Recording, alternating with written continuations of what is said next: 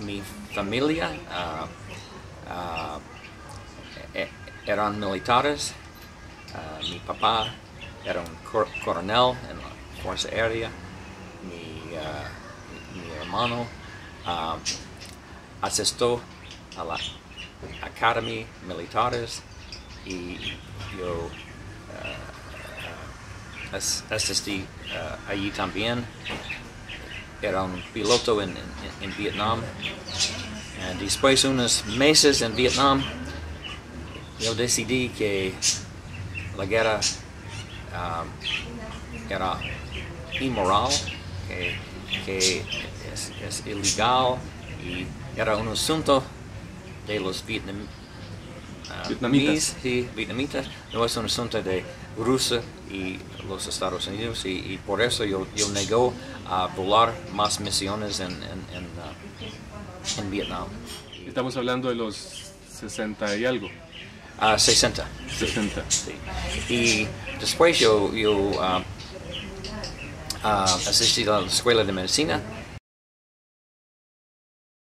Yo tengo tres condiciones que no va a usar una, una- una arma y, y quiero tra- trabajar con civiles, pero eh, también quiero tener la derecha, eh, el, el derecho a asistir cualquier persona necesita um, un soldado, un guerrero, un civil que necesita atención médica.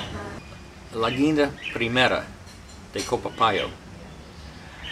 Estoy pensando que quizás podemos morir hoy noche, porque hay una línea de los soldados alrededor Suchitoto.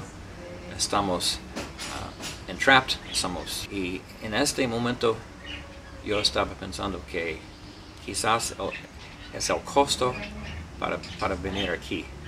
Y, pero por un milagro cruzamos la línea con muchos civiles y con mamás, con sus ni- niños. Y esta noche, una mamá um, cosa la,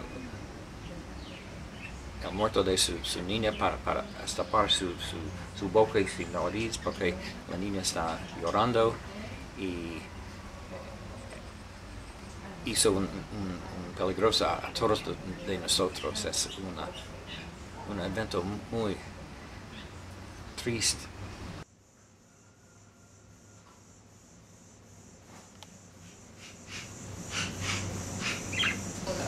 Había una guerra y Guasapa ah, ah, era una, una tierra de ah, fuego ah, libre y casi cada día hay ataques de, los aviones y, y cuesta mucho para los civiles.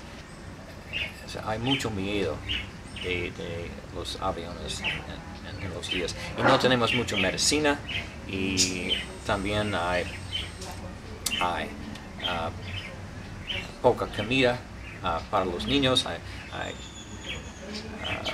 desnutrición y ah, hay pocos médicos tam- tam- también. Ah, era un, un tiempo ah, difícil.